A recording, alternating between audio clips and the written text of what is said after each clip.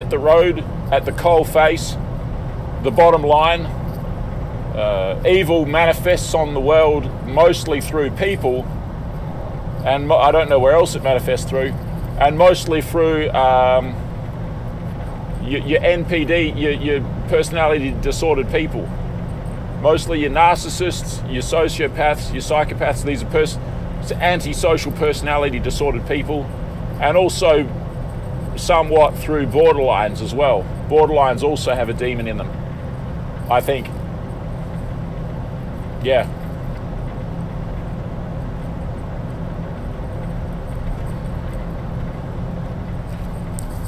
One thing I've learnt is that these people are associated with addiction. People can get addicted to narcissists. I know this firsthand. And narcissists also are addicted to certain people, particularly to borderlines, but also to codependents, because this represents for them a great deal of supply. Narcissists who really don't have any emotions except for anger and, and envy and spite, resentment, you know, all this kind of shit. Negative emotions. They can only feel good when they're doing somebody else pain, when they're causing somebody else pain. Narcissists really are looking for people who can feel a lot of emotion. Narcissists see love as a weakness and they see negative energy associated with breaking the heart of one who can love as a source of fuel, as a source of food to be consumed. Get someone who can love, get someone who can love deeply and strongly, put them into a state of love, and then dump them viciously, unexpectedly, horribly, and then drink up the pain of that person, the delicious pain. Narcissists find your pain to be delicious. when they break your heart. How on earth does a narcissist lead you on effectively to get you into this, this place where they can do this to you? Well, first of all, the place where they do this to you is called the shared fantasy. They have to lure you into their fantasy world, which is a dark place, before they can do something bad to you. If you don't go into their fantasy world, they can't do anything really much bad to you. They have to lure you into their fantasy world.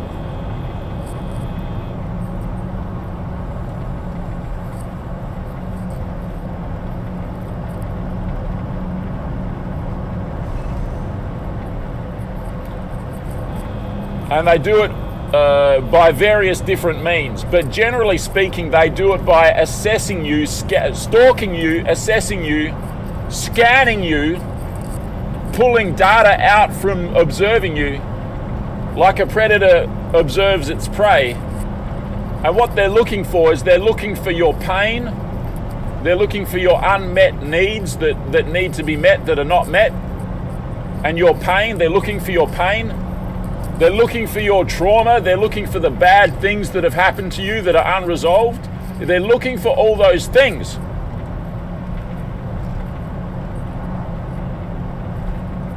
Whether it's a beautiful girl who's going to romance scam me, or whether it's Adolf Hitler who is going to war scam the German public.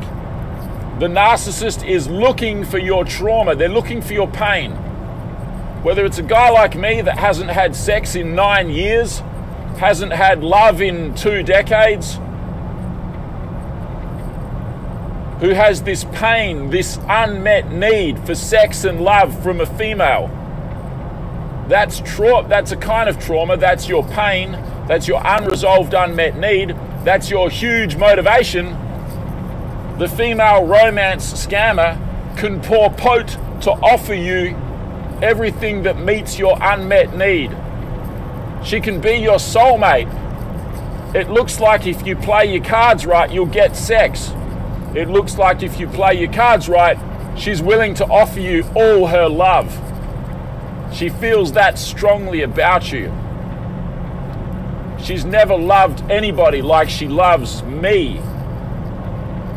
Or if you're the German public in the 20s and 30s, you've been effed around so much World War One came along and killed millions of you, and then you lost the war through a stab in the back at the Versailles Treaty.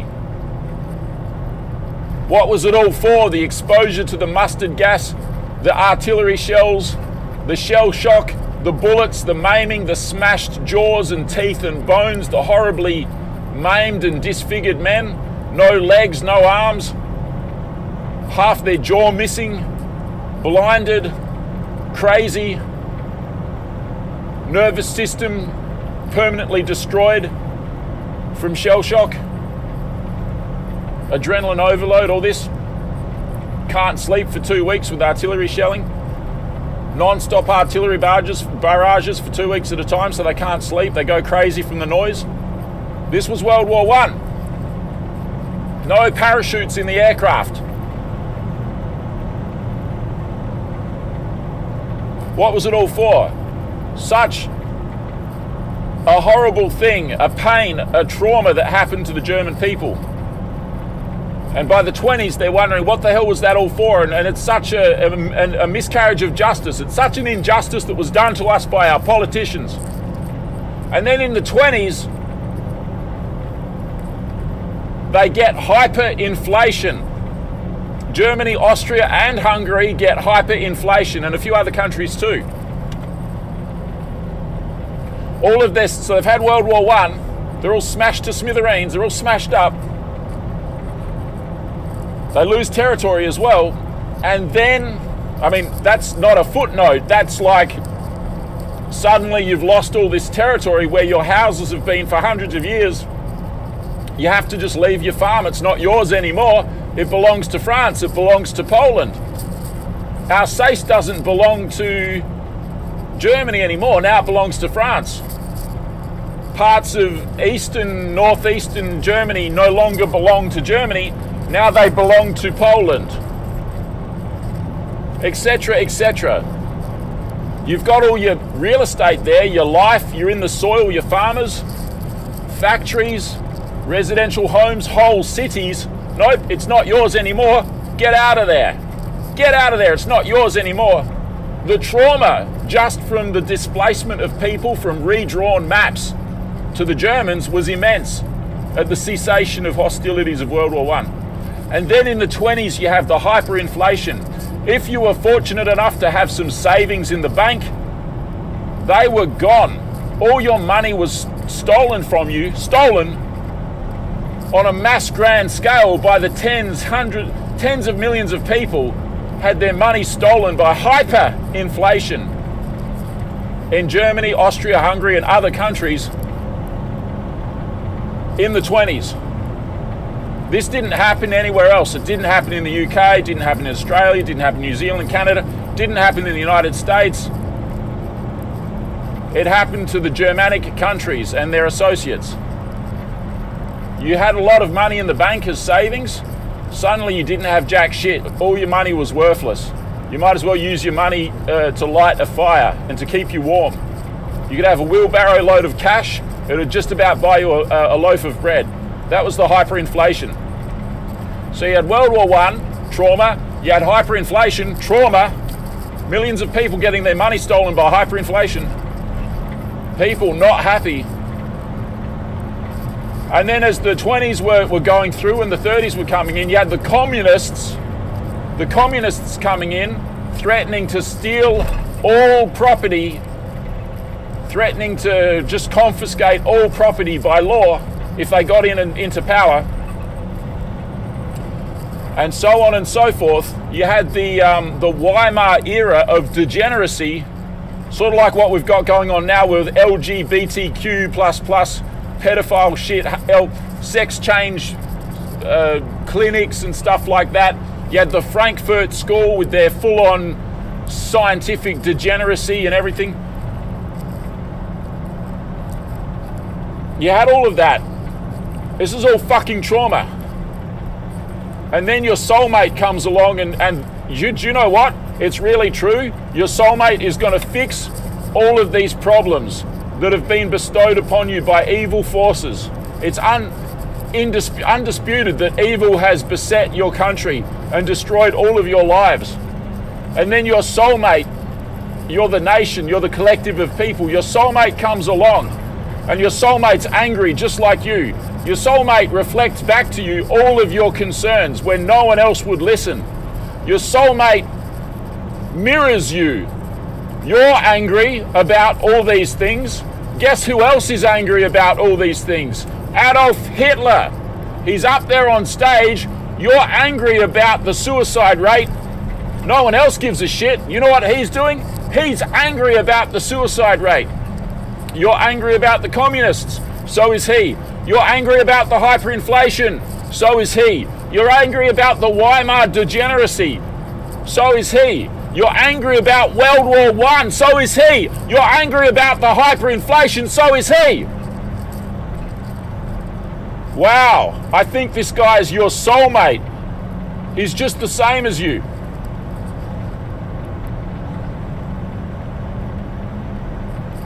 It's like he's you. Hitler was a reflection of the German people at that time, all of their unresolved traumas. And he was the only one speaking about it. And boy, did he make sense. And then Hitler was voted into power. And then he got into military action with the neighboring countries that had stolen all of Germany's territory in the Versailles Treaty. And you know what? Just like that, he defeated all of them. He had military victory after stunning military victory. He could do no wrong. Everything worked out just fine. All of his critics were silenced.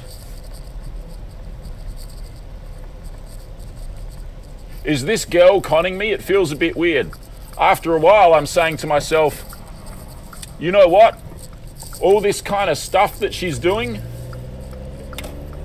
I feel so good. I don't care if she's conning me, it feels so good. All my inner critics of her are silenced by how good she makes me feel. The Germans had plenty of critics of Hitler, but he has especially military critics from, say, the, the Junkers, the, the aristocracy out of Prussia mostly. Some of those guys were critics of Hitler, the Austrian corporal. Those critics were largely silenced by Hitler's mega victories over France, particularly, and other countries. He just fricking succeeded everywhere. Well, I guess he's a genius then. I guess he's our, our national soulmate. He cares all about our stuff. He's had amazing success. Guess what Hitler did then?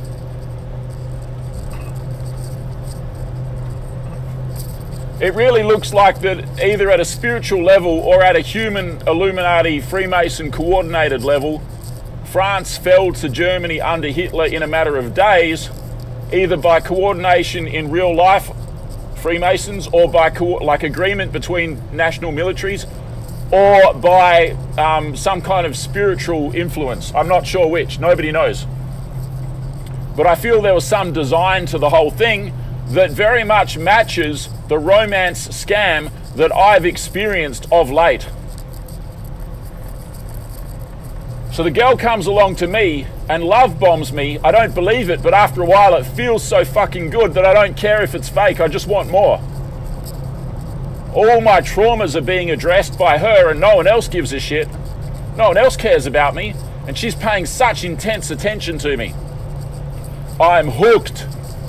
I'll follow her anywhere, even off a cliff.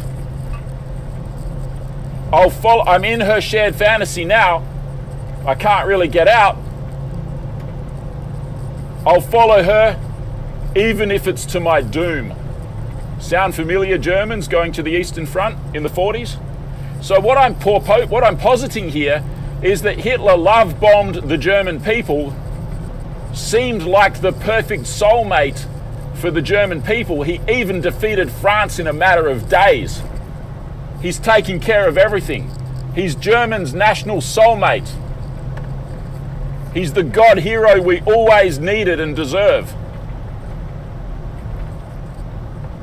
He love bombed them. He was perfect. You could say he was the, the, the mask of perfection of a narcissist. You could say that. He never lost a battle. And then war was declared with Britain over Poland.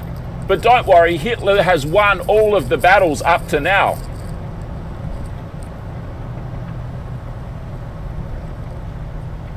He even let the British Expeditionary Force go free at Dunkirk when he could have annihilated them. Nice guy, huh? Magnanimous. If that's the word. Nice. But isn't that a bit funny? He let the British go. And then they get into the Battle of Britain. And they're kind of starting to win the Battle of Britain because they're bombing the airfields, they're not bombing the cities. And as they're starting to st- starting to get the edge over the British, despite British radar, despite British having higher factory production of aircraft than Germany, and despite the British having this gigantic empire, wealthy, perfect, um, full-on education, university, schooling, factory, uh, raw materials acquisition, empire, of factories and mines, mines raw materials supply everywhere across the world India, Canada, you name it, Africa, Australia. Despite the British having this massive supply line, German submarines and German aircraft are starting to win the Battle of Britain. There's no, there's no sonar right now, hasn't been invented. As they're about to fucking turn the tide and get the ascendancy and win the Battle of Britain, Hitler goes, you know what? We're going to stop this strategy that's working for us now well and it's, it's succeeding for us of bombing the British airfields where the RAF fighters are taking off from. We're going to stop bombing those airfields and for no good reason we're going to start bombing civilian homes in London and so on. And that gave respite to the RAF and they were able to turn the tide quickly because the pressure was off them. Hitler just took the pressure off the RAF. What a stupid decision that Hitler made if he wanted to win the Battle of Britain and Hitler lost the Battle of Britain by losing the ascendancy, giving the advantage to the British, who had radar as well. And then Hitler just gave up. He sort of started a fight with the British and then just sort of gave up and was like, you know what? Fuck this. I don't like this party. I want to go and party with the Russians. And time after time after time, Hitler lost and lost and lost by strange decisions letting the British go at Dunkirk, changing strategy that was working to one that wasn't working in the Battle of Britain, getting to a couple of kilometers away from Moscow and then just going, you know what, fuck this. Yeah, I'm just gonna, I'm just, I'm just gonna whatever, you know, fuck this. Instead of going at Moscow, we're gonna go north and south instead. His generals on the ground were like, what the fuck is Berlin talking about? We're supposed to be going to Moscow. We can get there by tomorrow morning. Why are they sending us north to some small village that doesn't even matter? What the fuck?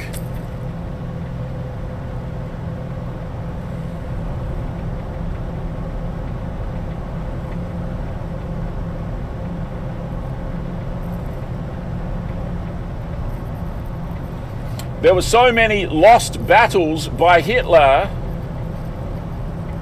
once the war started. In fact, there were basically no wins. There were basically no wins. I mean, talk about Stalingrad, right? oh yeah, let's let's supply our troops at Stalingrad from the air.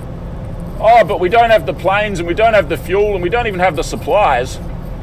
And the Red Army Air Force is strong now, and it's winter, and our ground crews are demoralized and they're all just huddling in the corner of the airfield trying not to freeze to death. And there's no support from Berlin.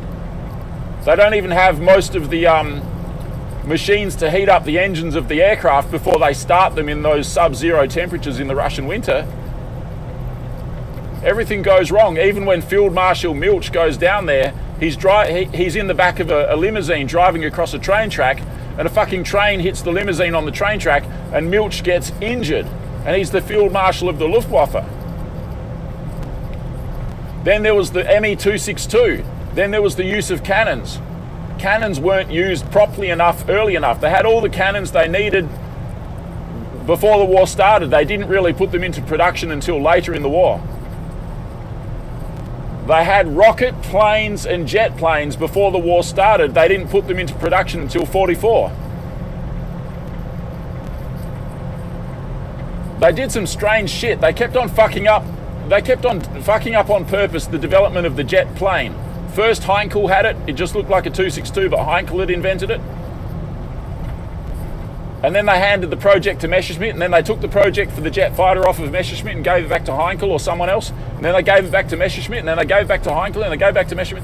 They kept on saying, "You can have it." No, no, no. You can have it. No, no, no. You know, no we'll, we'll give it back to you. No, no, no. We'll give it back. If you actually analyze the Nazi uh, political regimes meddling in the, the the German Air Force jet fighter program, the only thing you could say is sabotage. They wanted to sabotage the development of that jet so that it would only be available in the last few months of the war. And only in small numbers when there's not even enough chromium to build the, uh, the combustion chamber of the jet. They had to source it from Turkey, of all places. And when there's not enough uh, fuel to run these things on a grand scale, not even kerosene for the jets. So, and not enough pilots either. All their good pilots were dead. So Germany had all these military victories, and then after Poland, they just had fucking loss after loss after loss after loss after loss. They just kept on losing to the to the Allies on the west and on the east fronts. So it's like Hitler could do no wrong, and then he got the Germans into the shared fantasy, which is, yeah, we're going to take over all of the world, basically. And by then the Germans were like, hey, we can't really get out of this. We're addicted to this lover of ours. We're addicted to this soulmate of ours. We can't get out of it now. We're, we're trapped in it. And after Poland, it was nothing but loss, loss, loss, loss, loss, loss, loss. Mass rape, mass rape, mass rape, mass death, mass death, mass death in the Rhine Meadows death camps. More Germans died after the war finished than during the war. And most of it was by starvation and maltreatment in camps like Rhine Meadows Death Camp. Try and understand that. Try and wrap your head around that. Millions upon millions of Germans starved to death in the Rhine Meadows Death Camp and others.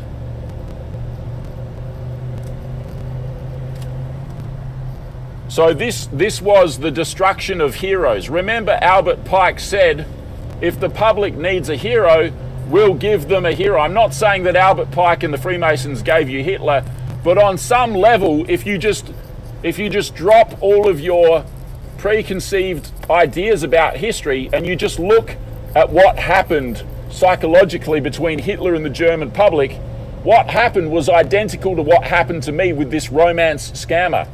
They present to you as extremely interested in you. They present to you as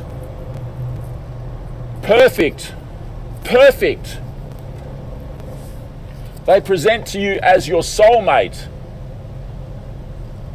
You can't believe your good luck that they showed up out of nowhere. They believe everything that you believe. They love and hold dear everything that you love and hold dear. And they're so good on top of that. They're genius. They're a genius. They're a genius. I've never seen someone so genius as them. They're so smart. They're so good. They're so good looking. They're just perfect. And suddenly you're freezing your eyelids off in sub fucking 35 or 40 degrees C uh, temperatures in frozen Russian winter. Frozen frozen eyelids that crack off, and then the, the victim is left with no eyelids for the rest of their life, and they're in some kind of hell. They don't have a, a proper winter clothing, and the next morning, after a, fro- a freezing night at Stalingrad, when they've just arrived on the plane from Berlin or from from North Africa or somewhere, the, the next morning, all of their arms are black because they've had severe frostbite and their arms need to be amputated because now they've got necrosis of their skin their skin's dead, their arms need to be both chopped off. This kind of shit was happening all the time. All the time. That's the German people stuck in the shared fantasy of a demon. stuck in the shared fantasy. I mean, it's identical. It's identical to what one experiences of a narcissist, is what the German people experienced with their, with their interfacing with Hitler. Listen, I'm not necessarily, I kind of am, but not really. I'm not saying that he's like a narcissist or an antisocial personality disorder person. But listen, uh, one of the problems that people have when they're stuck in the shared fantasy and things have been going wrong for a while is they've always got this kind of inner monologue mantra where they're kind of saying to themselves, well, look, I know how good it was in the beginning. If we could only get back to the good old days, if we could only get back to when we first met, those were golden days. They loved me so much, and I loved them so much, and they were perfect, and everything was good, and they were so attentive to my needs. They cared about every little thing about me and for me, and, and they wanted to take such good care of me. They loved me so much. They loved me like no one's ever loved me before. They said to me, I've loved you like no one's ever like I've no I've loved you like I've never loved anyone. And then everything just turns to shit after that. And so the victims of this kind of narcissistic abuse that are now stuck in the shared fantasy, and now the, the narcissist has got them there, they're not leaving because they're addicted, they're stuck there. And now the narcissist can start to extract supply from them, torment them, destroy them, humiliate them, uh, pull the negative energy out of them and feast on it. Feast on the negative energy. Are you telling me that those who are freezing to death and getting horribly maimed on the Eastern Front in winter, are you telling me that, that they weren't producing negative energy? They were producing a lot of negative energy, and demons were feasting on that. And the principal individual that is identified as getting the German nation into horrible situations like the Eastern Front is Adolf Hitler. I'm just telling you, I've noticed a 100% match, a 110% fit of the cycle of abuse of a narcissist with their victim and Adolf Hitler and the nation of the Germans. In 2010 or 2011, I woke up. I, I, I, I had this red pill moment. I woke up and I was like, holy shit, all the Jews today in the media causing all these problems, Bernie Madoff, George Soros, blah, blah, etc., etc. Genuinely, there's a lot of Jews that are elite, elite Jews who are causing so many problems. And Hitler was opposing the Jews and the Jews were opposing Hitler because he was calling out the Jews. Oh my God, Hitler was right. Oh my God, Hitler was right. That was my epiphany. That was my waking up in around 2011. That was one layer of the truth. There's a deeper layer. I'm telling you, there's a deeper layer.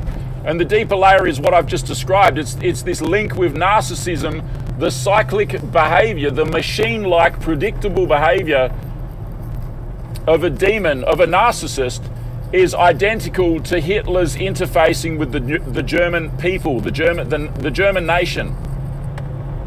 Find out what their trauma is. Offer them solutions to all of their trauma. Be this perfect, perfect, perfect, perfect person who never even loses a fight ever. Oh my God, he's so perfect. Everybody gets lured in, even his critics are silenced the last vestiges of your conscience screaming at you. The volume is turning down when, when this beautiful girl, like nobody ever else, is showing you such attention. You don't realize that she's a con artist, or the part of you that does realize she's a con artist and is conning you, you don't want to listen to that part of yourself. It's screaming at you, but you turn the volume down on it. You see, like, I don't want to listen to this. I'm feeling great. I don't want to listen to this. The German nation was the same thing. This girl is romance scamming me to get sadistic supply from me. She's offering me this beautiful fantasy. I'm going to get sex, I'm going to get love, I'm going to get romance, I'm going to get soul connection. I'm going to have a dream world, a dream life. She knows just what I want and she's prepared to offer it to me. And that's what she wants as well. This is a spider, a female spider, weaving a web, mimicking her prey, ready to fucking suck the life out of her prey. She's got to get you into the web first. She's got to get you into the shared fantasy. Once she's got you into the web, you're trapped. You can get out maybe before she gets her fangs into you. But once you're stuck in that spider web, most of the time you're not getting out of it.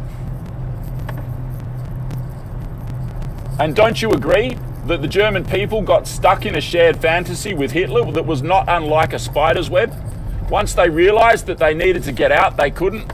Do you know that of all the two wars, the war that really had a lot of mutiny was World War II, and the mutiny, the most mutiny in well in all the world wars, World War One and World War Two, was in was the Germans and the Russians on on respective sides mutinying mutinying on the Eastern Front.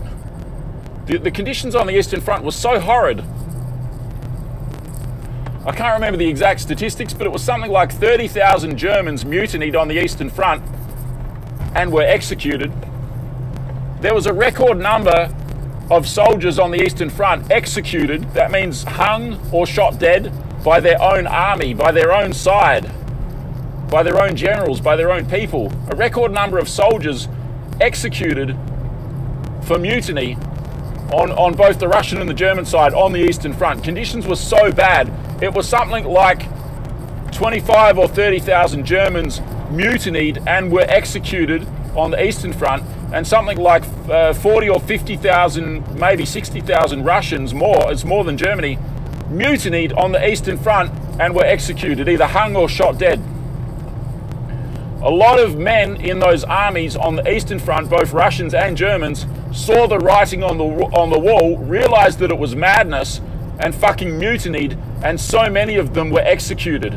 You don't really read about that in the history books, do you? All you hear about is, oh, the Russians are so keen to fight the Germans. Oh, the Germans are so keen to fight the Russians. 20, 30,000 Germans weren't keen. They were like, fuck this, this is bullshit. They just walked away and they were captured and, and shot dead or hung. Same with the Russians 40, 50, 60,000 Russians on the Eastern Front.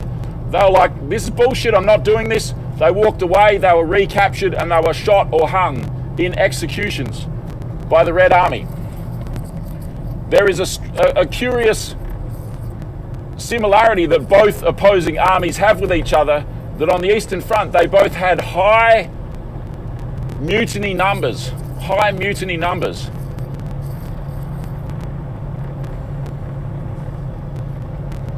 This represents the empath waking up once the uh, anesthetic wears off a bit, finding themselves adhered to a fucking spider's web and realizing, oh my god, I'm stuck here, I'm stuck here, I'm stuck here, I'm stuck here. Yeah, you're stuck in a thing called a shared fantasy of a demon. You can't get out now, you're stuck in the web. I'm telling you, you, you probably can't conceptualize what a shared fantasy is. It takes a while or it takes some experience maybe of yourself empirically to know what a shared fantasy is. A narcissist can't very well harm you unless they entice you into their shared fantasy. Like I said, in the case of Hitler and the Germans, it was something like Hitler's perfect. He wins all these battles. He wants to solve, he's cured the economy. The economy is now perfect. Hitler solved the economy. He even built the Olympics, had the Zeppelin flying over, restored national pride. We can be proud again. Our, our honor has been restored. Hitler is perfect. And then after the Battle of Dunkirk, suddenly Hitler can't win at all, and he never wins, and he just he just keeps fucking up one one time after another. This is so reminiscent of the mask of perfection, the love bombing, and enticing you into the shared fantasy with it from a narcissist. You think they're a perfect person. You think they're your soulmate. You love them so much. You've never experienced anything like this. This is perfect. There is a little, there's always a little voice in the back of your, your mind, in the back of your head that says, you're being ripped off, you're being conned, they're too good to be true. But it feels so good that that little voice, you turn the volume off, you don't turn it up, you don't listen to it anymore, you turn the volume off, you ignore, you turn a blind eye to that voice in your head that says, don't trust this person, they're a fucking vampire. They just want to get you miserable and suck all of your life force energy out of you. They want to bleed you dry in the snow of the steppes of Russia. They want to bleed you dry.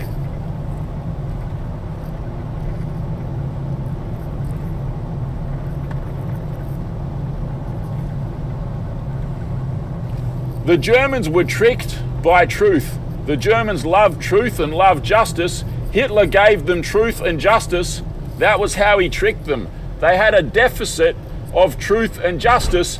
Hitler gave them truth and justice, and then he got them into the shared fantasy with that method. Once they're in the shared fantasy, they're in the spider's web. There's no getting out of it. They're going to die. They're going to be raped. They're going to lose all their property and all their territory even more than before. It's no joke. They're in an existential crisis. They're in a death ride towards 1945 April. They're totally fucked because they're stuck in this shared fantasy and there's no exit, there's no escape until the logical conclusion. How do you exit the shared fantasy? Well, you could kind of see some Germans. I don't think this is really a, a proper attempt to exit the shared fantasy, but with the um, the bomb plot uh, Stauffenberg and all that, you could argue that that's an attempt, a feeble, too little, too late attempt to exit the shared fantasy. But really, the Germans were sucked in hook, line, and sinker into the shared fantasy, and once they were in it, they just couldn't get out of it until they were destroyed. Jezebel, the demon spirit, her remit is her is that the right word remit her mission is to kill steal and destroy. If you look at what happened to the germans as a result of world war ii it was killing stealing and destroying. All their cities were destroyed. All their men and women and children were killed. And their property and their territory their very territory was stolen.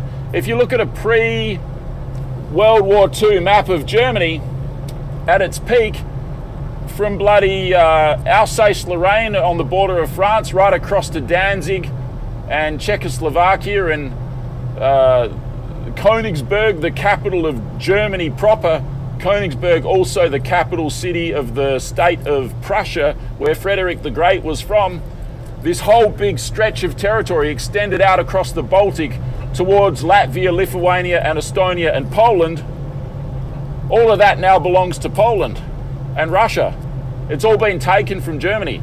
That's the stealing right there. Jezebel stole from German nation. Jezebel killed German nation. Jezebel destroyed all of the German cities. Why? Why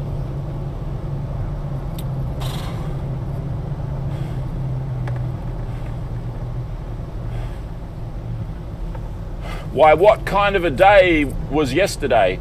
Why, what kind of a romance day was yesterday? Why, wasn't yesterday Valentine's Day? Now then, why wasn't Valentine's Day yesterday?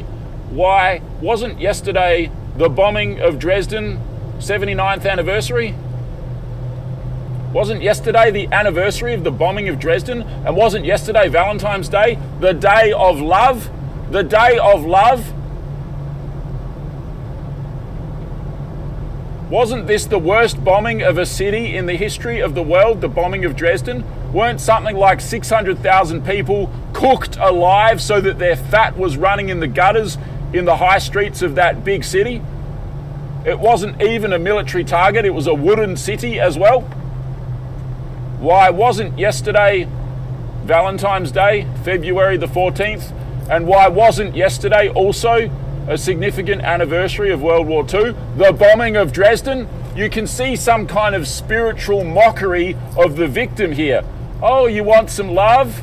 Yeah, I love you so much. My name's my name's your soulmate. I love you so much.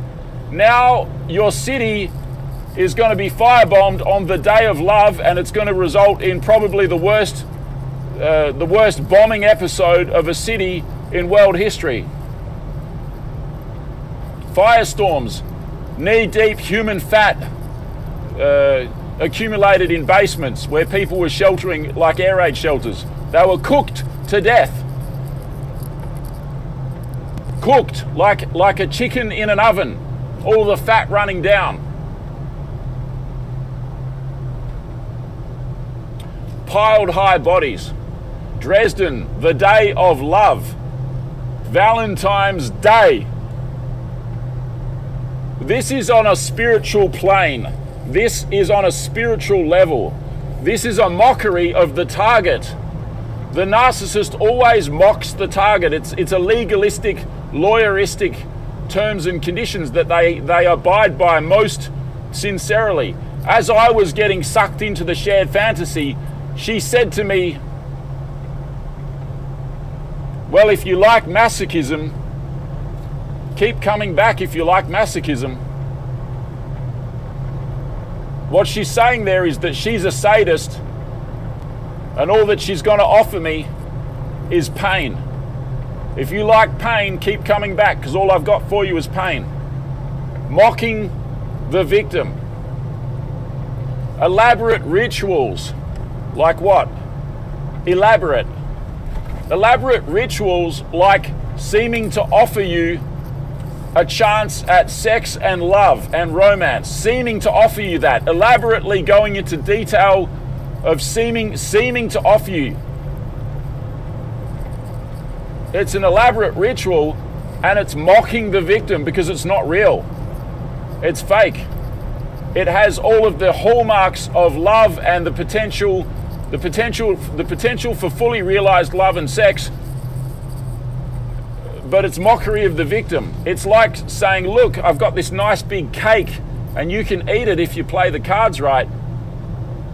But the cake might actually be a movie set prop that's made out of rubber and they're never even going to let you get near that cake. They're just kind of offering it to you. But you can't quite reach it. And it was made of rubber anyway. That's what this prospect that they're dangling in front of you, it's a huge carrot. Look, love, real love, real love. Valentine's Day, look, real love. Bombing the city with fire incendiaries, fat rolling down, fat, fat cascading along the gutters in the, in the middle of a giant city, human fat, firebomb tornadoes whirling across the streets, huge big 100 meter tall fire tornadoes, tornadoes, twisters made of fire, fire bombing, fire storming. Dresden was a firestorm. This is your love, this is your romance, this is your sex. This is your perfect soulmate partner. You're in the shared fantasy, and now it's too late. You're in a death ride. All of that remit of Jezebel to kill, steal, and destroy is personified in the firebombing of Dresden by incendiaries by the RAF on February the 14th. Valentine's Day. That's your love. this is your love. I cause you pain. That's how I love you, says the demon. This girl that romance scams me, the more pain I cause you, that's how I love you. I love you by causing you pain. The two things are connected. My sadism, your masochism, that's my love, it's your pain. My love of you is your pain. I love you so much when I cause you so much pain. I've never loved you like I've loved anyone. You've allowed me to cause you so much pain, and it has caused me to love you so much. That's literally the deal. These demons get off on causing you pain. They're, they're in an orgasm from causing you pain. Causing you pain to them is orgasmic. You get it? There's a 110% match between Hitler and his relationship with the German nation and people and what I've experienced with a romance scamming, sadistic, cerebral, schizoid narcissist female who romance scammed me completely for sadistic supply. 110% match. There's not even an overlap. All of the cycle checks out, and it's one cycle that's machine like and that is photocopied a million billion times over in the experience of other human beings with narcissists, with, with antisocial personality disordered individuals. I'm telling you, it's a 100% match. Oh, but Hitler said this and Neville Chamberlain said that, blah, blah, blah. I'm not talking on that plane. I'm talking on a psychological slash spiritual plane the relationship.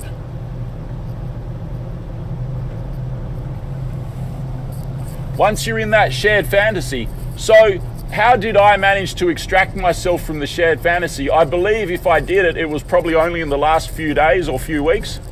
How did I do it? I did my best to mortify the narcissist, to embarrass and humiliate them. And I also did my best to try and see them in a more realistic light. It occurred to me that I was seeing them in a light of perfection. I was seeing them as a perfect person, which flew in the, in the face and contradicted my own observations that they were hardly a perfect person. All the evil that they'd subjected to me, me too, all the evil that they'd su- subjected me, me to, showed me that they're not a perfect person. So, why was I always thinking of them as a perfect person?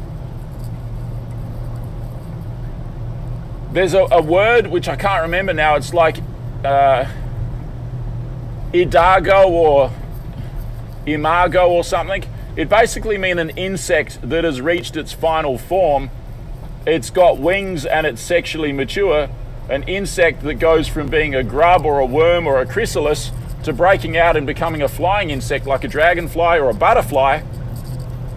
I think it's idago or something. There's a word for it.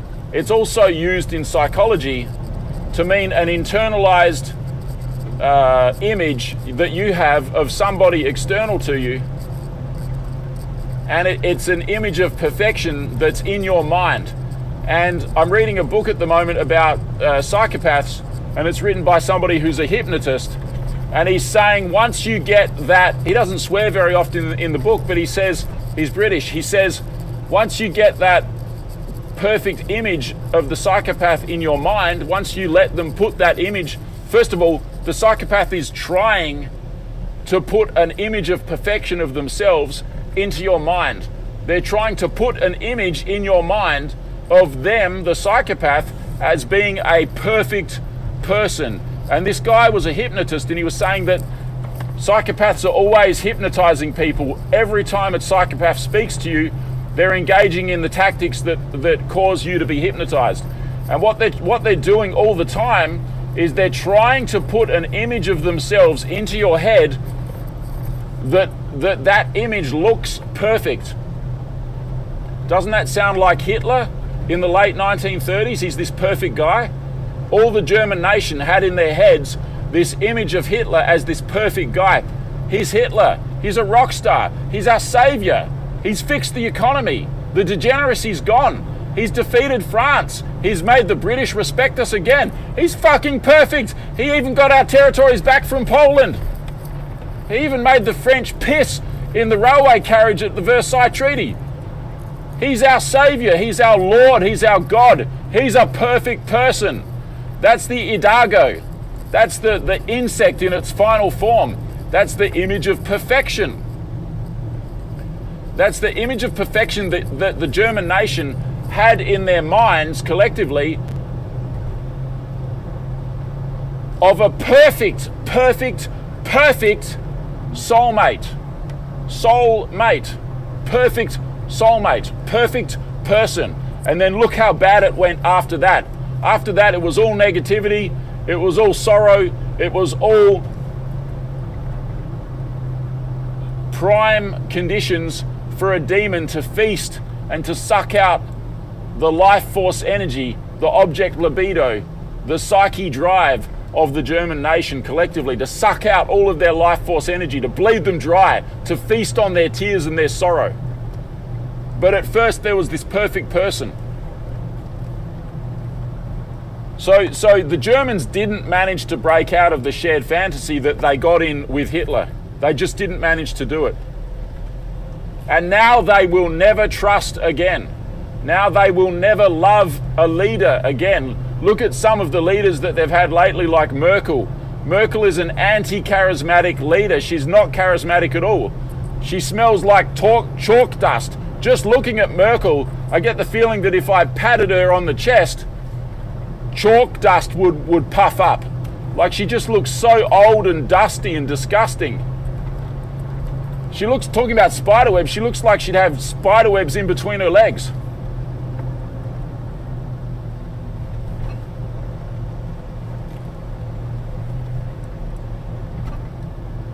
She looks like her breath would stink.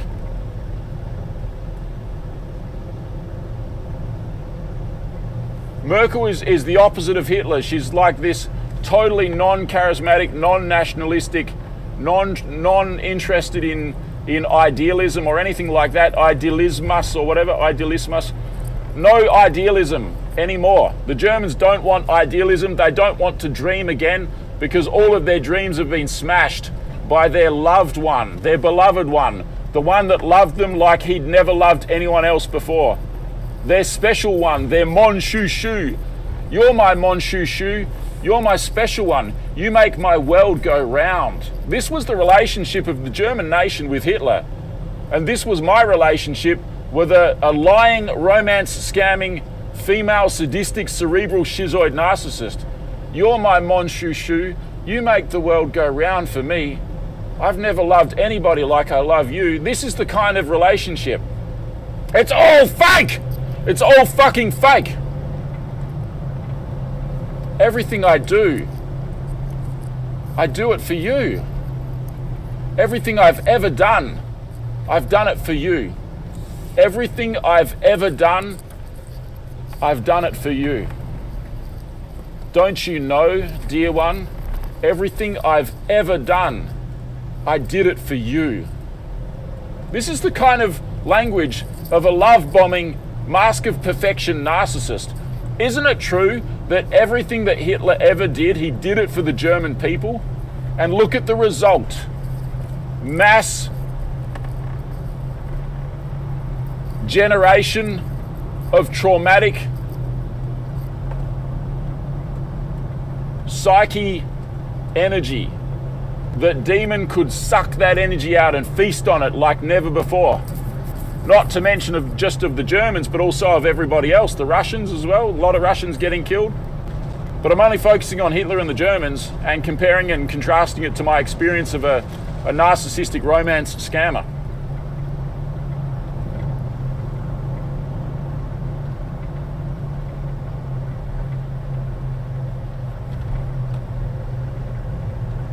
I mean, there's a lot of people today that they see the, the love that Hitler was showing for the German people and nation, and they're like, that's true love.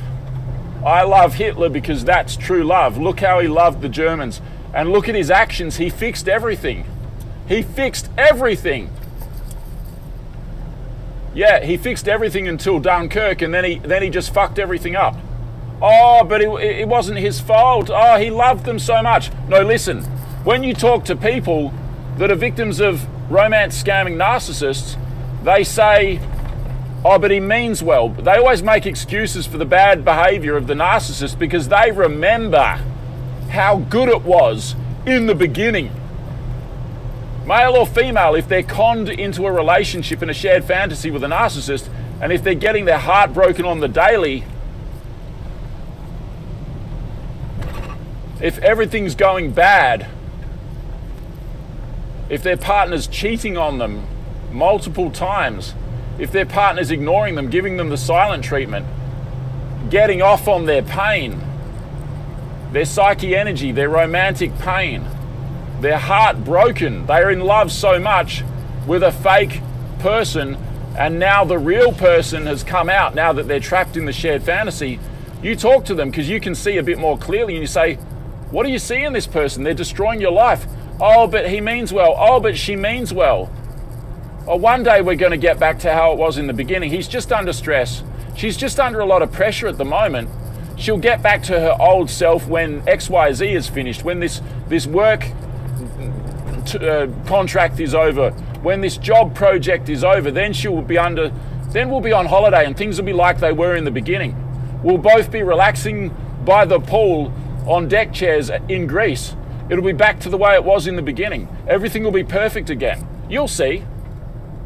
But it never goes back to perfect because now you're trapped in the shared fantasy and now they're extracting the sadistic supply from you and and bit by bit they're dropping that fucking mask and you can see the evil salivating lizard grinning at you as it takes the mask off and you can't do anything. By addiction you're adhered there like an insect stuck in a spider's web and you can't do anything at all to get out of it. You don't even want to get out of it. You love it so much but it's causing you so, so much pain as the spider sinks its fangs into your neck and sucks out your blood and injects poison to liquefy your insides and to completely obliterate you. You love it so much. You feel so much.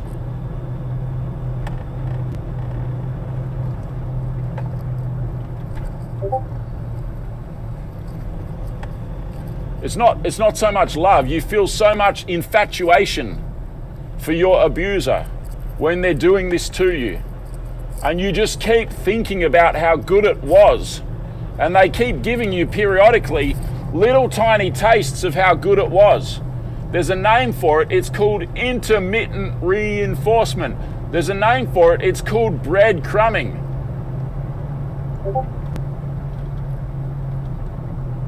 Oh, we've got this wonder weapon of wonder. Uh, wunderwaffen or whatever. We've got this wonder weapon. Oh, we've got these new tanks. They're called Tigers. They're called King Tigers. King uh, Koenig Koenig Tiger Panzer. We've got the biggest and the best tanks in the world. It's a wonder weapon. There's talk of a huge bomb that can just blow away cities. It's a wonder weapon that Hitler's got, he's working on it. He's going to release it soon. It never came. It was a future fake.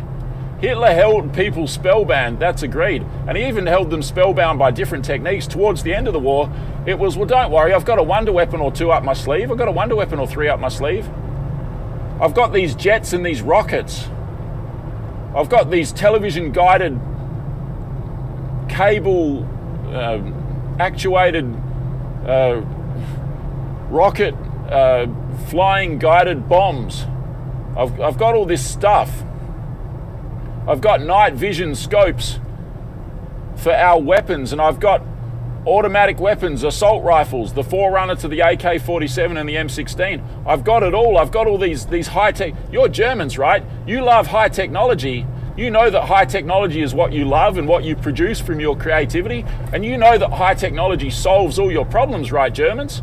And Hitler's got all this high technology for you. He's got the jet planes. He's got the the uh, bloody uh, MP44 uh, STG 44 assault rifle with a 30 round magazine of 7.92. This is a revolutionary weapon. This is going to help us to win the war. We got these King Tigers, the King, the Koenig Tiger.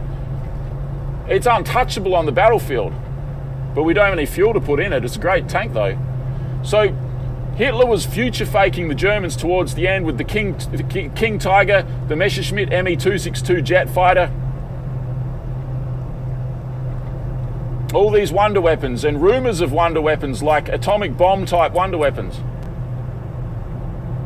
They even had some wonder weapons already. They had not only sarin, but they had tabun. Sarin and tabun gas. They had thousands, tens of thousands of tons of stockpiled sarin and tabun gas.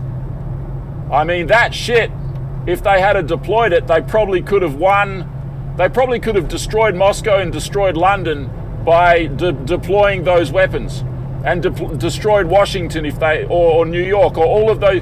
That's like that's like a nuclear level weapon, and they didn't deploy it. They built it, they stockpiled it, they didn't use it. They did have a wonder weapon there, they didn't use it. Funny, huh? Even as Hitler was allegedly on the verge of committing suicide in the bunker, I suppose he did, he never went, you know what, I've got this big stockpile of sarin and tabun. Why don't I just dump it all on Moscow? Why don't I just dump it all on London? Why don't I just dump it all uh, on uh, New York or Washington? Why don't I launch coordinated Pearl Harbor, Kota Baru style attacks all at once, all at the same time across the world in different time zones on all of the, these key strategic brain centers of the Allies and just wipe them out. Why don't I just do that? He never did that. Could have won the war, probably, or, or held the Allies to a grinding halt.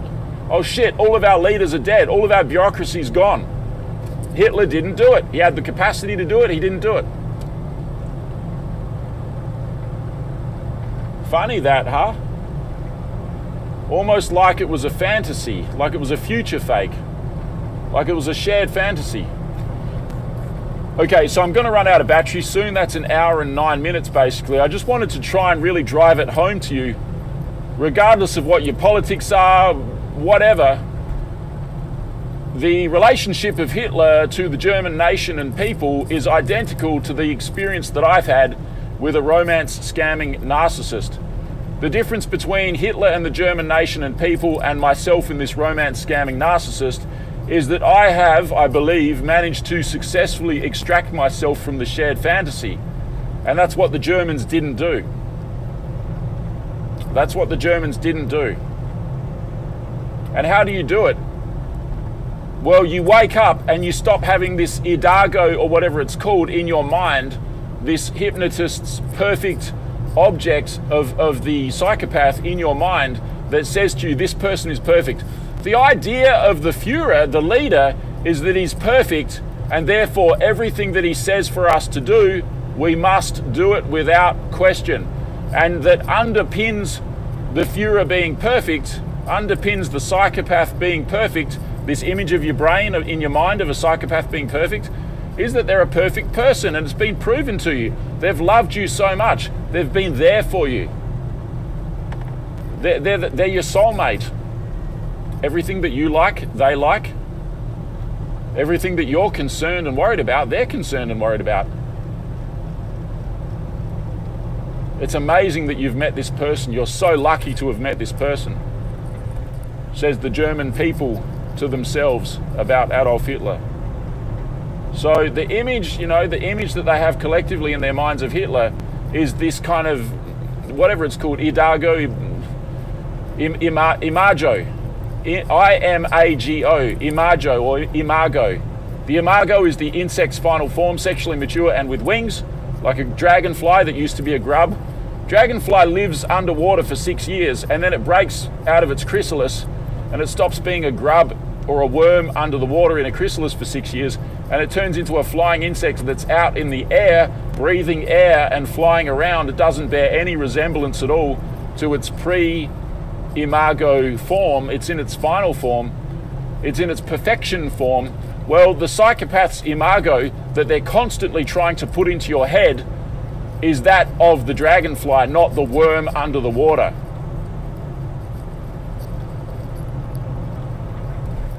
They want to put in your head of them an image of perfection. And I admit it, I had in my head for so long this image of perfection of this girl. It's not even a girl, it's a woman, okay? And it was very hard, even though you could see the flaws, they were blatant and obvious. It was very hard to break out of this, this imago that they're a perfect person. It's addiction, it's illusion, it's hypnotism. So same, same for the Germans with Hitler. Oh, but he's perfect. He, he, he, he did all this good stuff. He did all this good stuff. He kept on winning all these battles. He's perfect. Yeah, but we're currently freezing to death in Stalingrad, and you, you, you think he's perfect. Well, well, yeah, things are going to be good again. He, all of his original victories are going to happen again. We just got to stick it out. We just got to put up with enough bullshit, and, and then things will turn good again. Doesn't matter that we haven't seen the Luftwaffe in the skies for a couple of months. Things will turn good, I'm sure. Meanwhile, the Luftwaffe's got no fuel. All their pilots, all their good pilots are dead. and Goring's refusing to even talk about the 262 at the emergency jet fighter conference. Ah, I mean, things were grim. The reality was grim. But people had this imago of Hitler in their minds collectively as a nation. They just remembered the glory, the good days, the good. They all said it. They all said it. They said that the days under Hitler in the civilian times were the best moments of their life. The days under Hitler were the best times of their life, even better than the post war period when they had peace. Even better than that. Much, much, much better than that. The times under Hitler in peace, and even in the early stages of the of the pre-war and the phony war and of uh, and of the, the early war in 39 those were the best times. It was only really as things started to get shitty at the end of 42 perhaps or maybe earlier if your loved one died earlier. But i mean collectively as the, as the national identity of Germany, things were so good for so long under Hitler, people had just come to accept that Hitler was a demigod or a god that could do no wrong. They just had this firmly entrenched idea in their minds, this imago, this image of perfection of Hitler that he could do no wrong. He'd proven to them over and over again how perfect he was for them, how suitable he was for them, how well he matched them, how, how well he cared for their every need. He'd proven it. This is why the Germans loved Hitler so much. He proved to them how good he was. And by doing this, they just came to know this image of perfection of Hitler. Hitler's shit when he goes to the toilet doesn't even stink. He's that good. Image of perfection.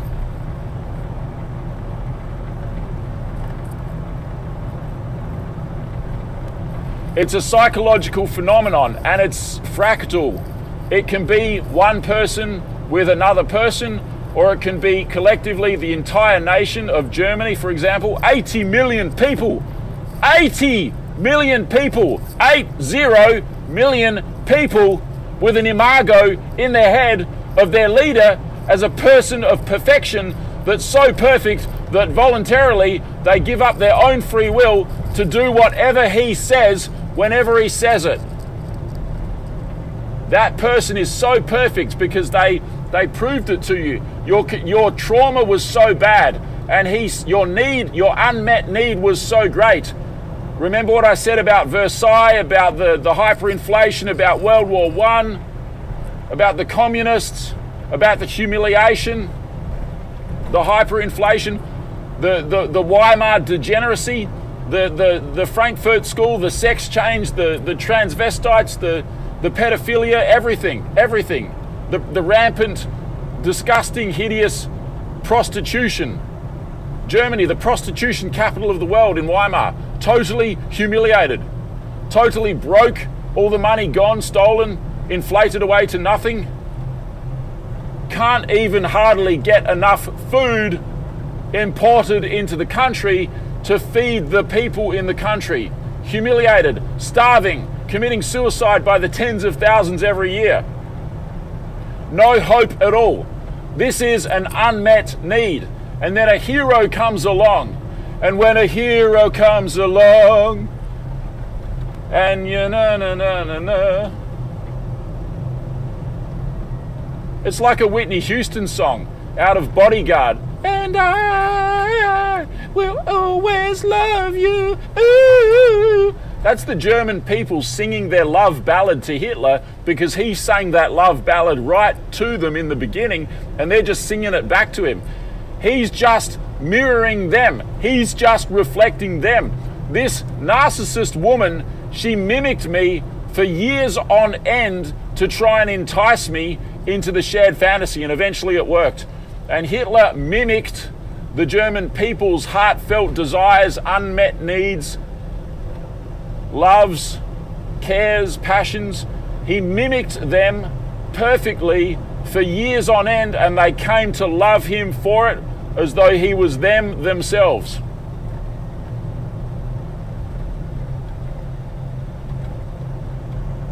It's the formula for popularity. Mimic the idealized self of the target. Mimic the idealized collective self of a nation. Even smart people like Germans, mimic their collective idealized self, purport to meet their unmet needs, they're going to be addicted to you. They're going to walk, they're going to be sucked in hook, hook, line, and sinker. They're going to be walked collectively into and voluntarily. Hitler talked about sleepwalking. I go forth with the assurance, the assurity of a sleepwalker, with the confidence of a sleepwalker.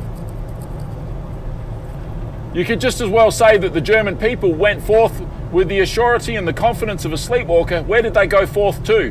Where did they progress to? They walked forth like a hypnotized sleepwalker right into Hitler's shared fantasy. And it felt so good. They were in love. They'd met their soulmate.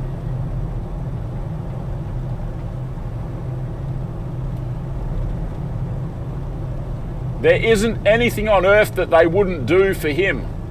They'd even give him complete power and control of decision making for them to him. Don't worry, Hitler. You're so good at making decisions, we'll just let you make the decisions for us. You're so good. None of us can make decisions as good as you can. That's what the narcissists want. They want complete control over you. They want to make all the decisions for you. And then they're going to start causing you pain. They're going to, once you're in that shared fantasy, they'll take the mask off and they'll start biting into your neck with their fangs, their spider fangs, and injecting poison into your neck and sucking the blood out of you and sucking the life force energy out of you, sucking the object libido out of you, sucking the psyche drive out of you. Whatever psyche energy you have, the psyche drive that powers you along and gives you energy, all that energy that they suck it out of you. They suck it out of you. And once it's gone, you're an empty husk. Just like if you ever see an exoskeleton of an insect, once a spider has had its way with the insect, there's nothing left but the exoskeleton and it's hollow. There's no substance inside that exoskeleton anymore. It's all been liquefied and sucked out and consumed by the spider. And how did the spider do it? It's one of the only species that mimics its prey is the spider and the narcissist mimics its its prey, the its target. The the parallels are profound. They don't just overlap; they're 100% match. That's basically the end of the video. I just wanted to um, point out that on a fractal scale, the relationship of the German people to Hitler was identical to the relationship of a love bombed target of a narcissist uh, and a narcissist. And I also wanted to point out that I believe, uh, it's perhaps too early to tell, but I, I don't think so. I believe that I've resoundingly turned over a new leaf and changed course, changed, changed direction. And I think that I've mostly, if not at all, uh, mostly, if not completely now, extracted myself from the shared fantasy that I was lured into. And let me tell you, it's addiction, it's hard to get out so fucking hard to get out of a shared fantasy. Just ask the German people on Valentine's Day in World War II when Dresden was obliterated and 600,000 people were, were cooked to death in a firestorm oven. Cooked to death. Their fat liquefied and running down the gutters in the main streets of the big city, Dresden. Just ask them about getting out of a shared fantasy. Just ask them about extricating themselves out of a shared fantasy. They'd never managed to do it and they paid the price. And now they're cynical and they're hardly alive. They're a dead nation and they'll probably never live, they'll probably never love again. They'll never trust another Valentine's Day because it was it was Dresden. They'll never trust another lover. If someone offers them love and appears perfect, no, you're going to hurt me like last time. No, I don't trust you at all. I'm so smart, I will never love again. I don't trust you at all. It's a, it's the German mentality now. Don't love, don't trust. Look what happened last time. You don't get it, do you? You were lured into the shared fantasy of a demon. It's identical. It's on a psychological, spiritual level. This this trickery, this bait and switch. Look at the results. At first, everything was perfect. And then, for a much longer period of time, everything was very, very not perfect. And then it was too late to back out. Once they, once they started mutinying on the Eastern Front by the tens of thousands, it was too late. They were, they were stuck on the death ride. So, what about me? Did I get out in time and how did I do it? That's the really important thing. Now that I've established the, the concepts and the parallels and so on, the overlaps and the, the matches, listen, it's a fingerprint match. What happened to the German nation and people at the hands of, uh, because of their interaction with their, their lover, their soulmate Hitler, is a fingerprint identikit match to what happens to an individual who has been romance scammed by a malignant narcissist that is looking to extract sadistic supply from a target. Suck the life force energy out of them. Well, um, I mean, I, I'm, I'm in the midst of it. I haven't, you know, gotten fully. There's light at the end of the tunnel. I've mostly broken the addiction, and I'm mostly extricating myself now from the shared fantasy. Perhaps I've already done it certainly if I can go on for the rest of 2024 without really um, focusing on any of on, on this broad and I can focus on other things that are more important like making money making some real friends that are not evil that kind of thing. Maybe even getting a girlfriend maybe even sex and romance with a girl who is actually meeting my needs such as unvaccinated young of the same race as me hopefully good looking, um, with a, with a non-traumatic uh, childhood, early life background. If I can find someone like that, I mean that that beats the socks off of a pseudo relationship with a, a, a romance scamming narcissist, doesn't it? So you know, if I can switch focus um,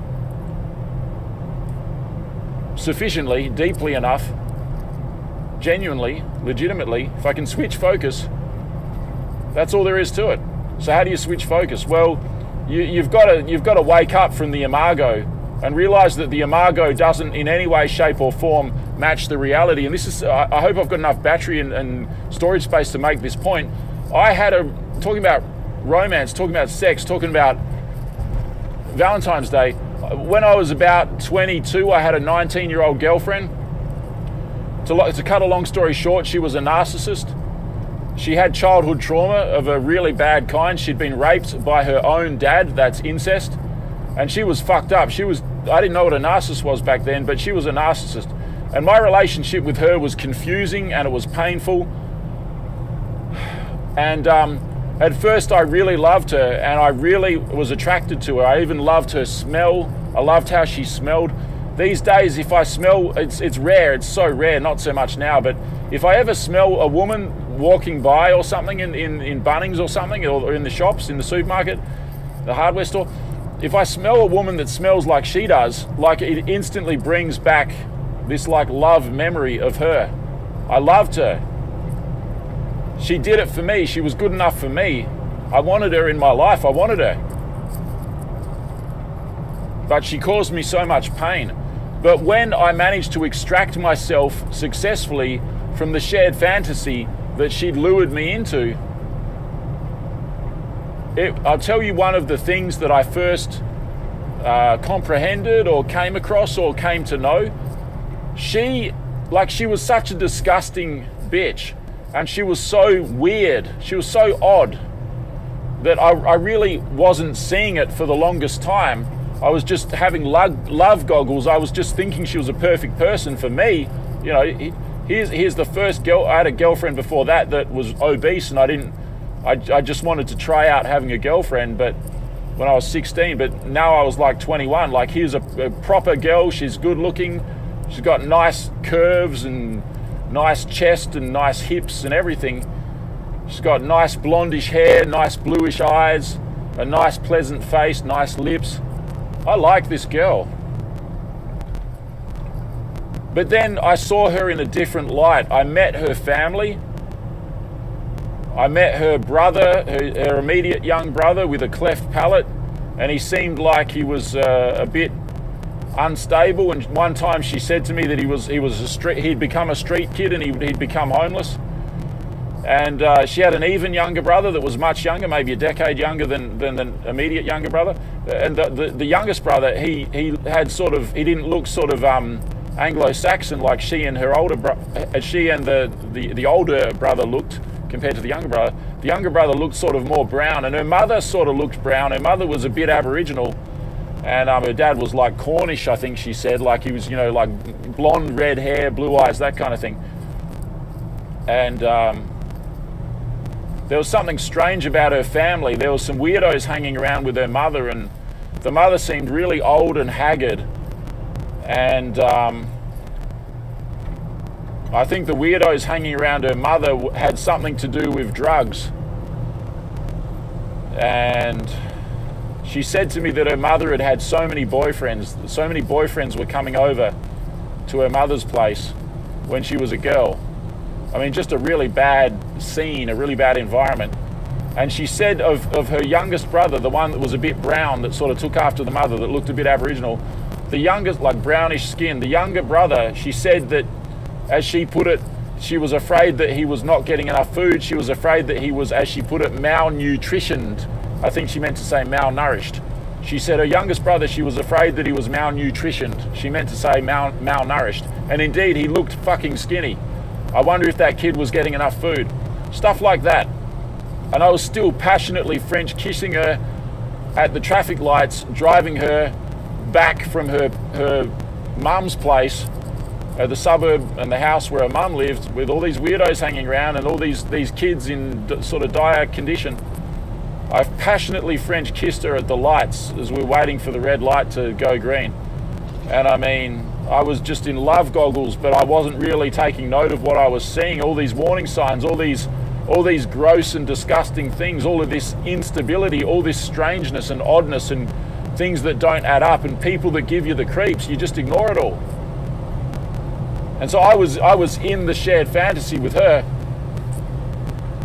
And in the end, um, I got pissed off with her. I, uh, I found out how she was totally um, like not loyal to me. Her housemates that she was staying with spilled the beans and told me and actually printed out her emails from, from other guys and brought them to me. And we sat down in the food court at Marion Shopping Centre, me and Leah and Dan, who were still together and have a great family. And they basically spilled the beans to me and they said, Look, she's not who she seems to be. Look at all this shit that she's up to. And I was so angry. And so basically, me and her split up. And um, she started text messaging me again for months and months and months, kind of stalking me, just constantly bombarding me with text messages. And I was just treating her like shit at that point. I was just like, fuck off, ho, in my text messages because I was so angry. And she didn't seem to mind at all. She didn't mind the, this at all. And eventually, it was she wanted to meet. She wanted to sleep over at my place and, and, I had a new job. I was selling cars. I was selling Mercedes Benz, and I didn't tell her, but she sniffed it out. She managed to sniff that I had some new job. She managed to sniff that I was living in the city. She saw that she she could. I kind of like psychically, telepathically sniff that I had become a bit successful. I'd turned over a new leaf. I wasn't the old me. I was the new me. You know, I was succeeding. I didn't need her in my life, and um, I had new prospects with girls, and I had new friends and everything um, I'd leveled up. I was driving.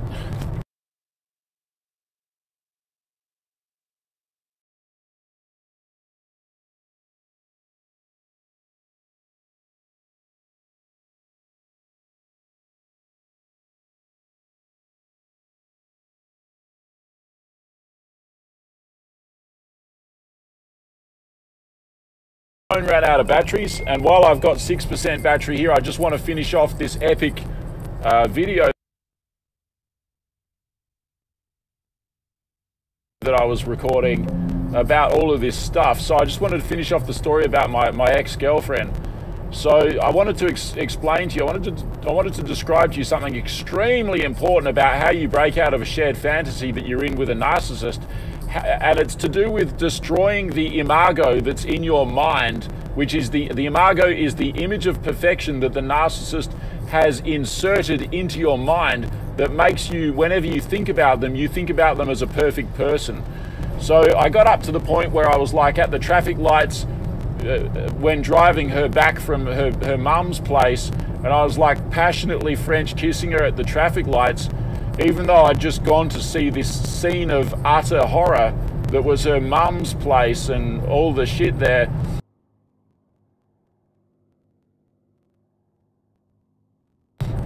I was so infatuated with her that I'm like French kissing her, even though I'd just seen all of these red flags and warning signs and gross stuff.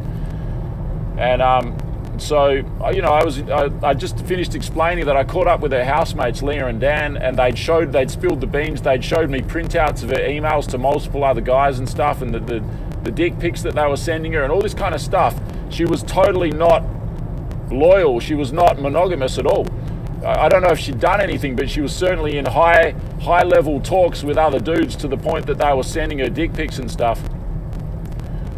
Dudes from interstate that were trying to um, trying to get her to to like meet them uh, behind a dumpster uh, in the red light district um, that were going to drive in from another state 700 kilometers away to get their dick sucked by her and stuff like that. So how much of it was fantasy, how much of it was reality? The point is she was not monogamous in heart and in spirit. And so I was totally disgusted by her. And at the same time, I'd turned over a new leaf. I'd gotten an excellent job selling Mercedes Benz new and used cars. I was suddenly driving around in like fucking uh, $160,000 cars.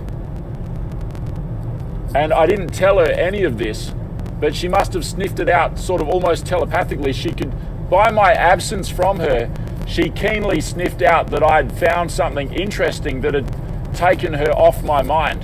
And I just wanted, before the battery runs out again, I want to describe to you how I broke the imago, how I broke the image of perfection in my mind of her so that every time I would think of her, I wouldn't any longer think of her as a perfect, perfect girlfriend. And how I broke out of the shared fantasy and how I saved myself. Can you imagine if I, if I fucked her enough and got her pregnant? Can you imagine?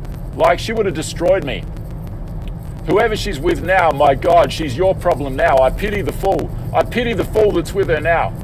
My God. As bad as she was then, she'd be even worse now.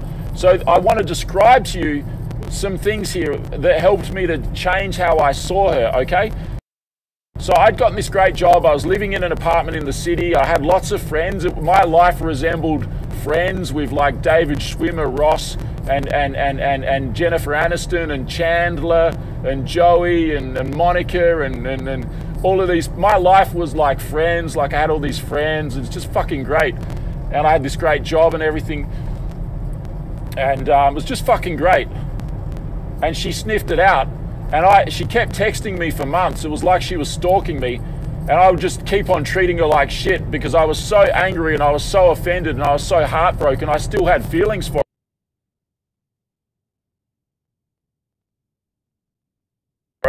But I was so resentful of her for what I'd discovered about her, thanks to Leah and Dan spilling the beans to me, that I really didn't want anything to do with her. And uh, instinctively, I knew that she was so destabilizing to my well being that I was like, okay, I love this girl, but I need a break from her. So finally, though, I was like, all right, you fucking bitch. If you want to. If you want to hang out with me, then kind of put your money where your mouth is, prove it, and look, you've got one chance. Just okay, let's let's meet up. Yep, stay over. We'll see a movie or something. If you don't even show up, if you if you're late or whatever, fuck you. I'm never ever ever. I'm gonna block your number. So she did show up. We hung out. We went to the to a movie. We saw a good movie. It was a Mel Gibson movie. I can't remember which one it was, but it was a good movie. Most of them are, aren't they? If not all of them. All Mel Gibson movies are good. And um, uh, it was it was great. She was she was like really nice and everything. And um, we went back to my place. and we had great sex. We had better sex than we'd ever had before. Before she was just a starfish. This time she was like responsive and she was more into it. And I was enjoying myself. But I didn't tell her where I worked. I didn't tell her anything about my life, and she just accepted that. She wasn't pushing to, to overtly try and find out anything. But Leah, I told this to Leah, and Leah said, listen, as soon as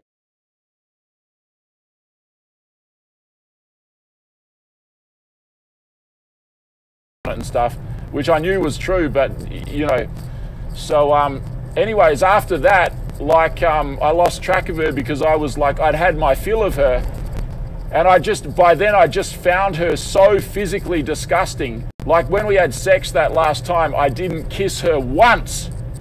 So I'd gone from passionately French kissing her at the traffic lights, driving her back from her mum's place, to this last encounter, this last liaison. I, I, I, I banged her good, but I never ever kissed her again. I didn't kiss her because I was disgusted. I thought that mouth has been places, and on the sake of hygiene, okay, so I'm wearing a condom, but on the sake of hygiene, I don't want my mouth to contact that mouth because it's too disgusting.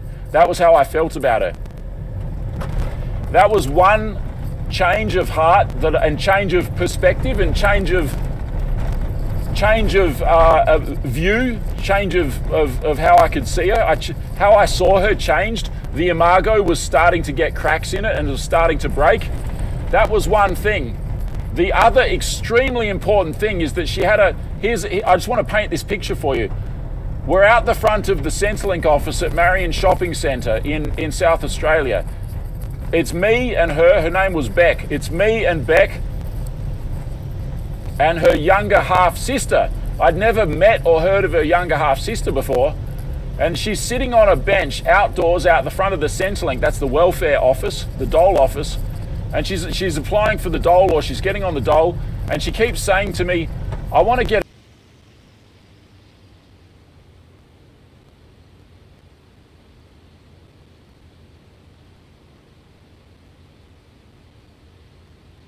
a job and I want to buy my own house. And that sounded plausible, but at the same time, she's at the dole office getting welfare. And she's there with her younger half sister. So I got to meet her younger half sister. And her younger half sister was a nice enough girl. But the thing that I noticed was that her younger half sister was a different race to her. Her younger half sister was sort of brown and was sort of more Aboriginal looking. They didn't really look like sisters, they didn't look anything like each other. Her younger half sister sort of looked like her youngest brother, the one that was malnourished, malnutritioned as she put it, whereas she looked like her her her her other brother, the one that was the eldest brother, that was just younger than her. And at that stage, she'd said that that that brother, you know, that looked, you know, sort of reddy blondie hair and blue eyes, he she and a cleft palate. She said that he was now a street kid. He was on the street. She hadn't seen him for a while, and she was worried about him. That's what she said.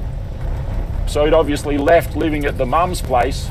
So I'm, I'm standing there out the front of the Centrelink office and I start finding myself wisecracking at Beck's expense and making jokes about her, which I'd never done before. Like I was starting to break the stranglehold of the imago. I was starting to break the stranglehold of the shared fantasy. Beck, so Beck, Beck was sitting there with her younger half sister, and I, I got nothing against the younger half sister, but I didn't find her attractive and she looked nothing like Beck, and that was starting to break the fantasy for me. I was like, holy shit, Beck's whole family, like this Aboriginal kind ofness of her mother and her youngest brother, and, and now her younger half sister that I never even heard of before, kind of looks like brown skin and everything. Nothing against brown skin, but like just the look of her, she looked grotty, she looked gross. I didn't like how she looked. She, she just, she looked. It's not that she was ugly; she was a bit ugly, but she just looked like like mud. Like, I don't know, she just looked gross to me. I just didn't like, she just didn't, wasn't so much ugliness. There was just something uh, gross about her. Like, a, I don't know, like maybe, uh, I don't know. Maybe she, she reminded me that she wasn't wearing clean clothes or something. I'm sure she was, but that's just, she just seemed grotty, the younger half sister. I was not turned on by the younger half sister. And then I was starting to connect that to Beck and going like, well, Beck sort of has some of these attributes. So there was that. And I'm standing there uh, looking at them in profile as they're sitting there on the bench with their forms for their, for their dole forms. And um, here's, the, here's the kicker Beck, who's a fairly attractive girl, she was putting on more and more weight. And she, curiously, she'd started wearing a tracksuit, like tracksuit pants and tracksuit jacket, big billowing tracksuit pants and big billowing tracksuit jacket. And the, the jacket was zipped up so it wasn't like a flat collar. The jacket was zipped right up, covering her neck. So she was completely zipped up in this tracksuit, this big oversized billowing tracksuit, kind of like to cover her, her increasing heaviness, I suppose. But she also had a countenance of a boy. She was starting to take on a boyish appearance with this tracksuit. And the tracksuit itself was, was kind of like brightly colored of different colors. And I actually made the joke to her that she, um, I, I actually started to think that she was looking a bit boyish. And I actually started to think that she was looking a bit clownish. So that was the tracksuit. And I'll tell you about the joke in a minute. The next thing was that she was wearing these these sneakers, these trainers, as you say in the UK. She was wearing like Nikes or something, and they were, they were some pretty expensive shoes. Like they were brand new shoes. These sneakers, the, these sports shoes. The the big thing about them is that they were way too big for her. Now I'm huge and I have huge feet. I have size US 14 uh, feet, and you know I wear huge sneakers, long sneakers and she was, you know, narcissists mimic you. And looking back on it, what she was doing was she'd gotten herself some size US men's 11 sneakers and bought them for herself to wear. And these sneakers on her, she's a tall girl, she's a tall girl, but these sneakers on her, even so, were absolutely huge for her. She didn't take men's size US 11 sneakers for fuck's sake. She'd started after after having some exposure to me, she'd started wearing shoes that were way too big for her and I noticed that, and not only that, but they were brightly coloured or multicolored, just like the tracksuit. Overall, she had a boyish appearance to her now, and overall, she had a clownish appearance to her. And it, to her face, in her presence, there and then, I actually mocked her. For the first time in my life, I actually mocked her. I actually joked at her expense to her face, which I would never do before based on the Imago. And I actually said to her, You've got clown shoes. Your shoes are so long and so brightly multicolored that you've got clown shoes. It looks like you've got clown shoes. She had the appearance of a clown wearing this brightly colored billowing tracksuit, the, the, the pants and the jacket, and the shoes were so big and long and oversized that she, she just looked like a clown. Like, what are you trying to dress like a clown? And overall, that looked so out of place to me as she's sitting there in the front of the dole office with her, her funny little sister. Later on in a text message, I referred, I referred to her half sister, who I'd only just met there and then at the dole office, as the funny little half sister. So again, I'm mocking her whole family situation now. I, I went from being in love with this perfect girl, this Imago, to seeing the half sister, and I called in a text message to Beck I said to her, Your funny little half sister, your funny half sister. I called her funny, funny, as in strange. Funny little half sister. I called her, I called her half sister strange. Your funny little half sister, your strange half sister. So I was kind of like pointing out to Beck, Oi, you, you're kind of your whole deal is kind of strange. I was the imago was starting to break. The image of perfection of this perfect girlfriend was starting to break, and verily it shattered. And I, nev- I never went back. I broke out of the shared fantasy. I broke out of the imago. I, I removed the imago out of my head, out of my mind, and she was no longer a perfect person. So, but um, not only that, but my overall impression of her sitting on the bench out the front of the Centrelink office at Marion was one of oddness. I, am not one to use the word weird because it's like a shaming language that women use on men, that girls use on guys. Ah, weird, ah, ah, weird, or creepy, ah, creepy, creepy.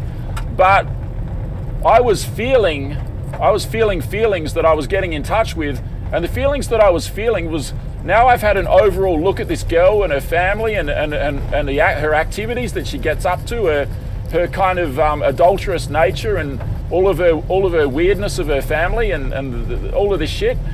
Now, and, and you know, just, it's all weird, it's all odd, it's all strange, it's all peculiar, it's all unusual, it's all alien to me, it's foreign to me. This is not how I live my life.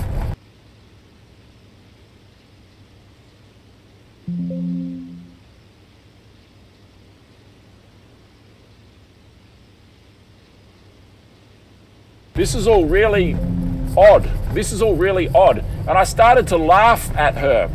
Her oddness was becoming apparent. Odd. People often say that narcissists are weirdos, and they are, but they present you with such an image of perfection when they're love bombing you that you don't see it. You see a perfect person. But it's only after a while that the illusion has, you have a chance to shatter the illusion. And if you can shatter the illusion by seeing them for who they really are, they're so odd. They're so strange. They're so weird. They're so creepy. You're seeing the vampire for the first time as a vampire instead of a supermodel, and you're like, holy shit, this is this is a weird person. She's dressing like a boy. She's got huge guy's shoes on. She's got this tracksuit on. She just she just kind of looks like she's trying to morph into a boy who has huge feet. It's almost like she's trying to be me. And in actual fact, that intuition was correct because looking back on it, I now know that narcissists try and be you. They try and copy aspects and elements of you because you're a real human with a real soul. They don't have any inner um, constancy to their, their personality. So they're always copying aspects of other people, if not outright copying a whole individual. And it occur- I hadn't seen her in a few months, and it, it occurred to me that, you know what, she's kind of like tried to look like me. She'd even cut her hair a little bit shorter. She was kind of trying to look like me. And it felt off. I'm telling you, it felt off. It felt weird. It felt odd. I, I didn't know what to think of it except that I was starting to mock her. I was starting to laugh at her.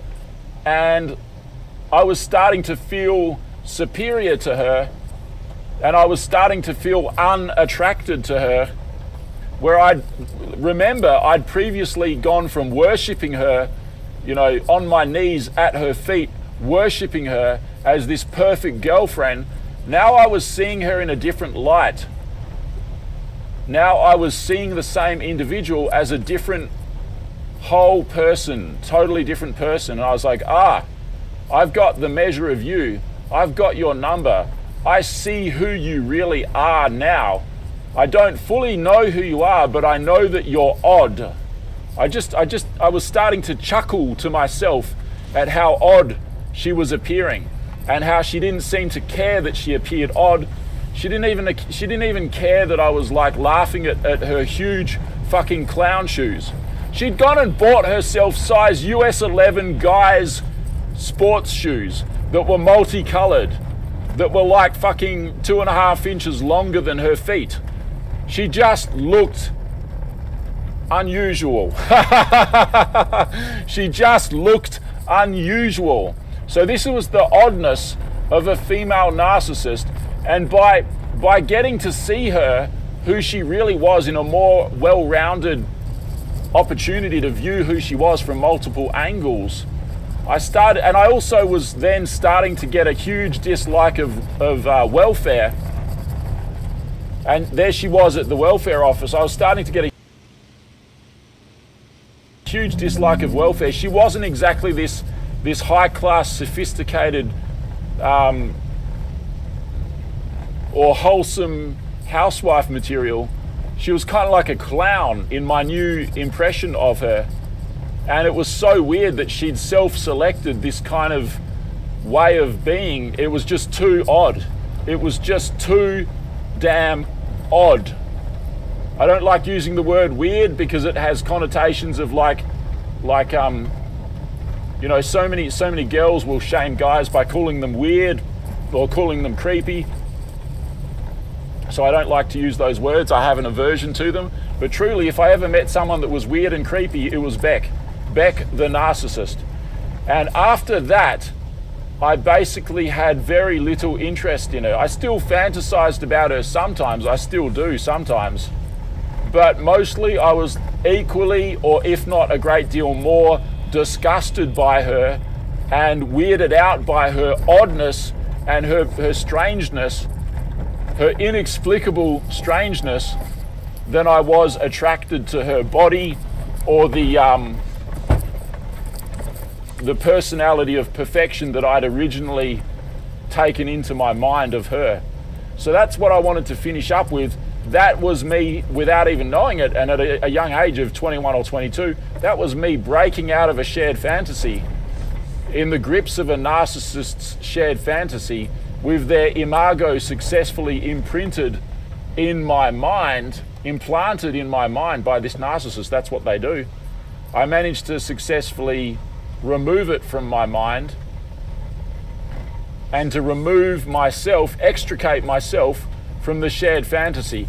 And a lot of it has to do with seeing the soulmate. You know, I thought she was my soulmate. A lot of it has to do with seeing the soulmate for the first time with fresh eyes, with real eyes. That's the, the etymology of the two words combined. To realize something is to see it with real eyes. And I was seeing this narcissist, this evil demon, for the first time with real eyes. And I wasn't liking what I was seeing. And let me put it to you that if the German people wanted to break out of the shared fantasy and to remove and extract the imago of Adolf Hitler, the image of perfection of this, this God, from their minds, they needed to see the individual for who they really were. They needed to see that he was basically a proto uh, imagery of Charlie Chaplin. Charlie Chaplin, Adolf Hitler, a clown.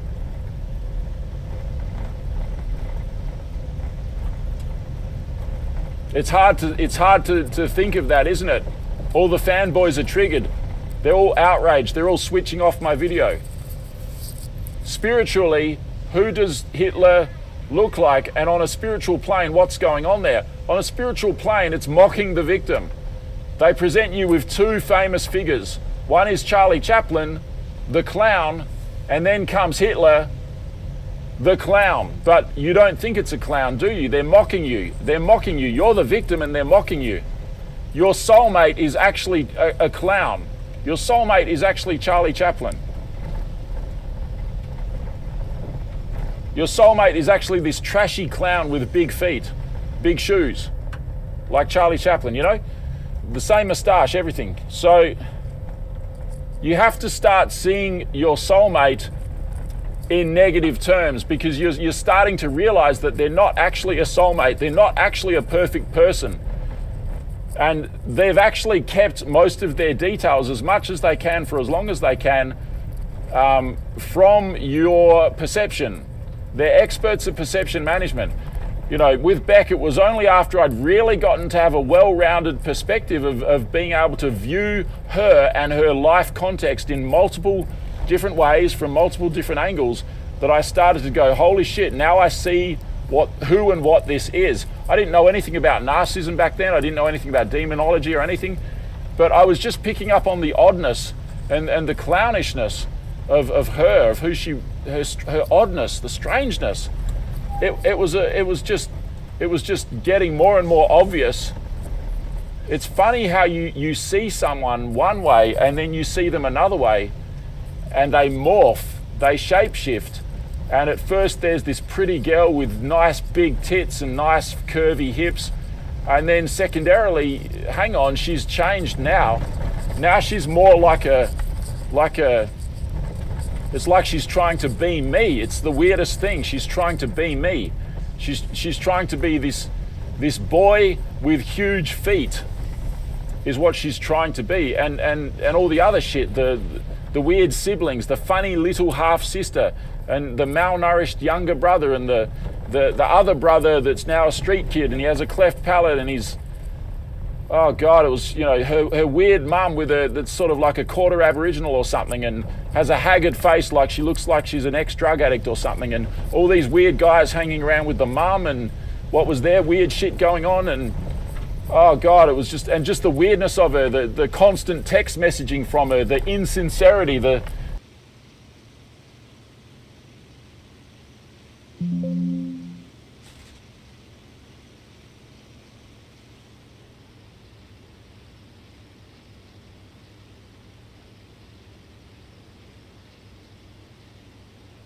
She wanted something to do with me, but it wasn't love, it was something else. She seemed to enjoy my pain. I remember one time I screamed at her on the phone when she just kept on ringing, ringing me up and then hanging up. I, just, I screamed at her. I think I told her to F off. I said it, I screamed it at her um, at my friend's place, and my other friend was there. Uh, they're actually my brother's friends, they're a bit older than me. And the guy, he didn't know the context of it. I saw the look in his eyes. He looked really disturbed when I screamed at her on the phone. And then she phoned me back again and she said, Ha ha, I got to you. And so for her, it was just a big game. When I actually got so angry at her that I screamed at her, I said, F off. She rang me straight back. I, li- I, f- I fucking answered and listened. Like I didn't, I didn't say anything. I just turned on the answer on my old phone and, and uh, listened to what she had to say. And all she did was she said, Ha ha, I got to you. And there is a deer. Let's have a look at that. There's a deer there. There's a deer right there. Wowee. How nice. I haven't seen a deer in so long. Hey, if I had my bow, it's kind of hiding in the bushes there. Oh well, there's a deer. I've often seen deer just around here. I think it's a. It's got no horns. I think it's a sambar. Sorry, you guys can't see it. And look, we've got 2% battery left or something, but I'll try and show you the deer. Hang on. You probably won't see it, but there it is.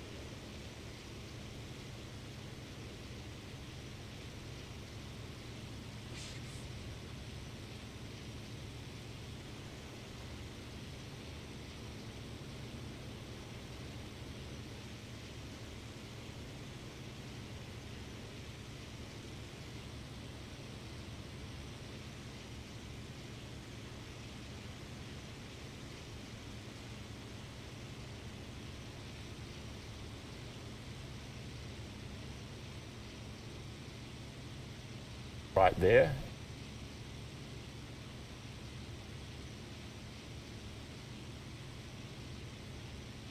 In the